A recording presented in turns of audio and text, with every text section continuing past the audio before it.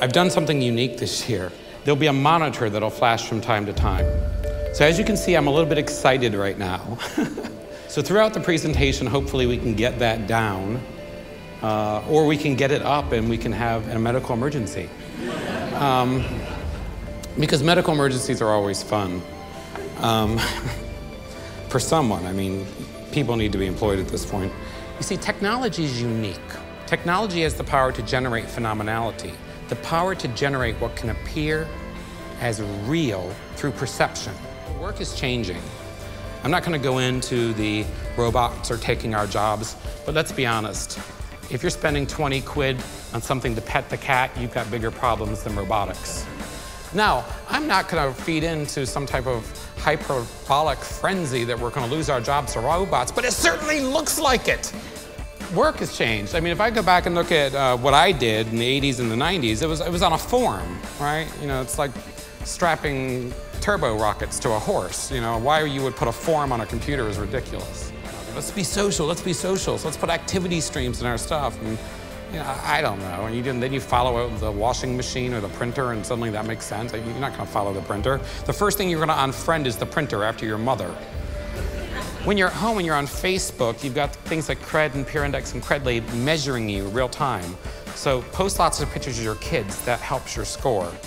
But then you've got this creepy middle area where you come to a conference and you meet someone and you swap cards and then suddenly they're rating you on LinkedIn. Your ability to be employed in the next three years has been outsourced to cats, co coworkers that hate you and someone you casually met while drunk.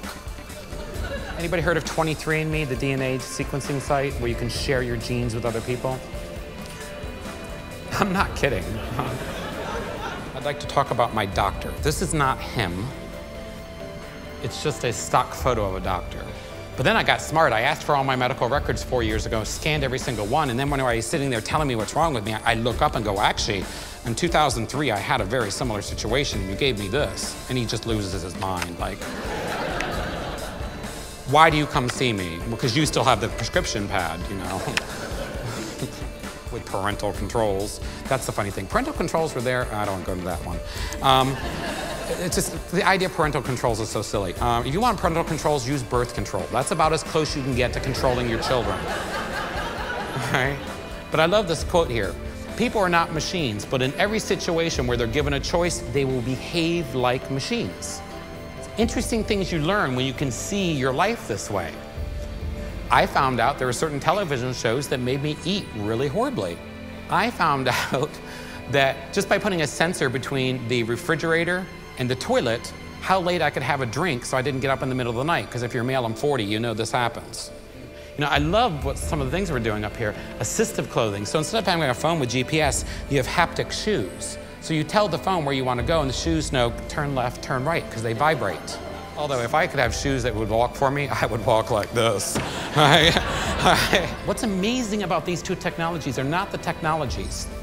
It's what they're going to do to the world around us in the next three years. I want to be on the stage in three years and say, do you remember when I told you this? Because here, I see Disney rides that react based on what your experience was like in the park up to that point. Movies get edited in real time. A bunch of people see it opening weekend. Some parts we thought were good, they didn't end up being so good. We edit the movie. We get to a point where movies are changed in real time depending on where you live in the world. You actually use the data for yourself and you make your world better. You live in assisted reality and you head toward an adaptive reality. For me, I don't believe in futurists. I don't believe in skeptics or rationalists. I have no time for zealots or kings. I found, though, that I do share a plane of existence at the data level with my dog, with my home that I share with my partner, Doug, and Romo. We all share a plane of existence. And I believe that it's this point in our humanity where we have to come to terms with our relationship, not with each other, but with everything.